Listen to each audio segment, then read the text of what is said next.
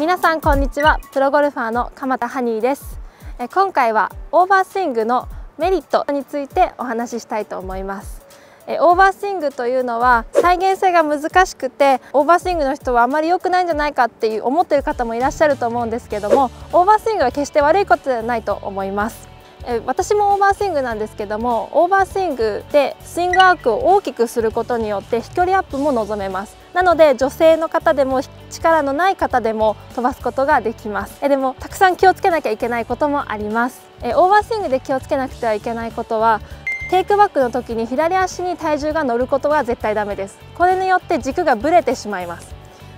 ングを上げた時にこっちにぶれてしまうと軸がぶれてしまってボールの手前を打ってしまったりそういうミスが増えてしまうと思います。なのでオーバースイングの方でも軸をしっかり真ん中に持って